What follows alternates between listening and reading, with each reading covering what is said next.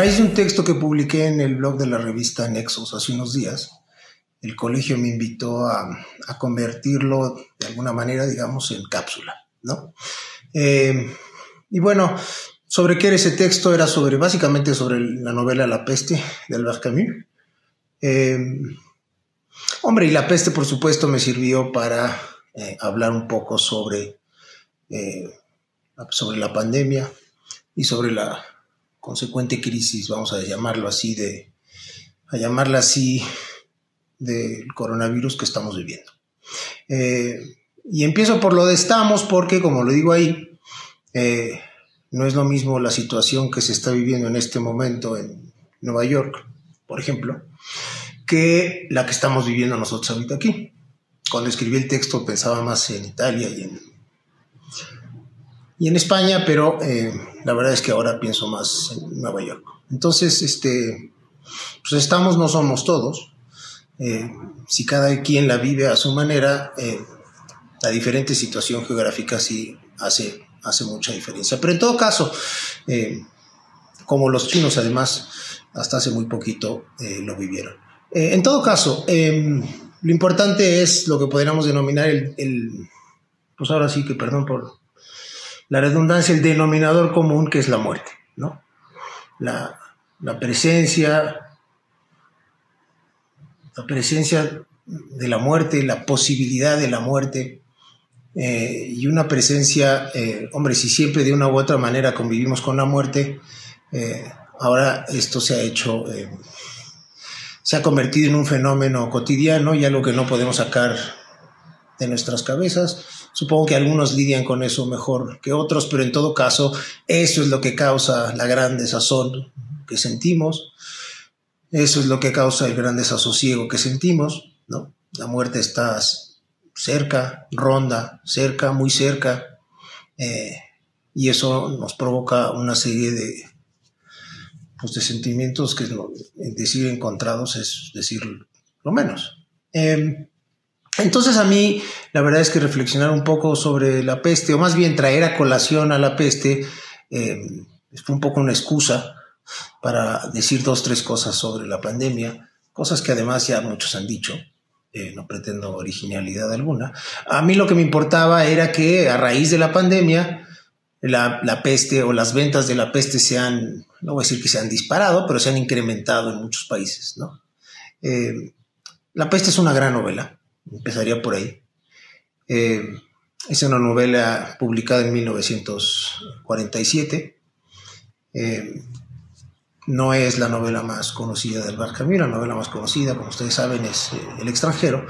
Eh, pero creo, yo creo sinceramente que la peste no le pide casi nada al extranjero. En todo caso, el texto y esta cápsula es básicamente una invitación a que quienes no hayan leído La peste lo hagan y quienes la hayan leído hace mucho, pues muy bien podrían regresar a ella, ¿no?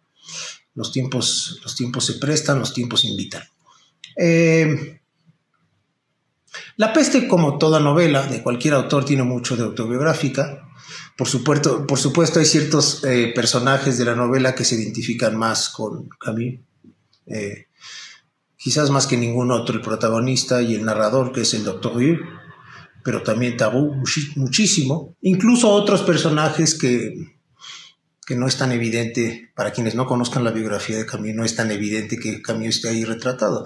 Pero, por ejemplo, el Gambea, el periodista que quiere regresar con su pareja, que quiere salir de la ciudad eh, de Orán, que es en la ciudad en la que se desarrollan los acontecimientos, en algún momento de la década de 1940, Camus nunca especifica cuándo, eh, es en realidad una situación que él vivió. Él tuvo que quedarse en Argelia mucho tiempo. Eh, más de un año sin poder regresar a, París a encontrarse con su esposa Francine a causa de la guerra. Eh, pero bueno, la novela es básicamente una alegoría de la ocupación alemana, como mucha gente sabe, pero es también, y si no la peste no sería el gran libro que es, una alegoría de la condición humana. Y eso es lo que a mí me, me llevó a decir dos, tres cosas sobre sobre la situación actual, ¿no? Eh, básicamente em, que con estas crisis sale pues lo mejor como lo peor de los seres humanos. Eh, hombre, no sé si es lo peor, pero salen algunas cosas bastante negativas. Eh, desde las compras de pánico hasta este, el vandalismo en los supermercados.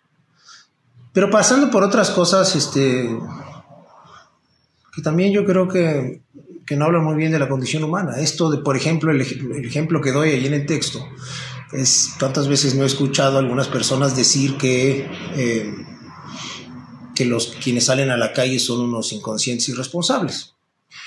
Eh, hombre, decir eso cuando uno sigue recibiendo el cheque quincenal, como todos los profesores investigadores del Colegio de México y muchísima gente más, por supuesto, pues es demasiado fácil, ¿no? Entonces, este, ahora, afortunadamente, junto a esas cosas también uno eh, ve y escucha y se entera de, otras muchas acciones, actitudes y acciones que sacan o en las que se manifiesta, digamos, lo mejor de la condición humana. Eh, y esto tiene que ver con, yo no sé si es la principal conclusión de una novela, porque yo creo que de una novela se pueden sacar muchísimas conclusiones, pero una de ellas sin duda es esta noción que está al final del texto de que hay más cosas en el hombre que admirar que cosas que despreciar. ¿no? Que por otra parte es una, es una noción que está en varios textos de Camus expresada de distintas maneras.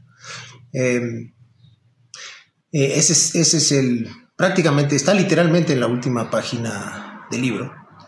Em, pero la peste también me sirvió como excusa para hablar sobre otras cuestiones, sobre las cuestiones a las que nos ha llevado, nos ha obligado más bien, eh, esta pandemia, ¿no? Que es, eh, pienso por ejemplo en tener que estar encerrados nosotros en nuestras casas eh, y tener que convivir con las personas con las que vivimos. Cotidianamente. Sobre, lo primero, lo que digo por ahí y, hago una cita de Pascal que me viene como anillo al dedo, creo que me viene como anillo al dedo, eh, es el hecho de que la verdad es que el, hombre moderno, la mujer moderna no saben vivir con ellos mismos, con ellas mismas, ¿no? Eh, la vida moderna es básicamente distracción, distracciones, y entonces, pues esta es una buena oportunidad al menos, sino para estar con nosotros mismos en la manera en que Pascal planteaba, que eso está muy difícil, eh, por lo menos este, hacer un esfuerzo de, introversión eh, y a ver qué sale, pero por lo menos hacer el esfuerzo, pues. Eh, y en cuanto a la convivencia, un poco, hombre, lo digo ahí, palabras más, palabras menos, pero la convivencia forzada, continua y prolongada con los seres queridos, pues nos va, es una, es una gran prueba. Los seres queridos lo expreso ahí, o lo digo ahí. Pueden ser todos los queridos que se quiera, pero eh, esta es una prueba para ver de qué está hecha nuestra relación con, con ellos, ¿no? Eh, con esos seres queridos. Lo que, por cierto, contribuye al desasosiego y a la desazón, ¿no?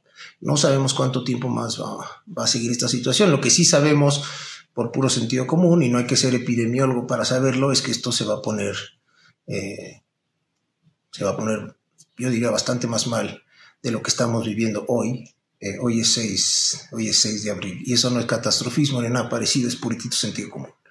Eh, entonces, bueno, eh, a mí lo que me gustaría con esta cápsula es nada más invitarlos a quienes no hayan leído La Peste, a que lean La Peste, a que traten de estar consigo mismos, a que dejen un poquito por la paz los celulares y todo lo demás,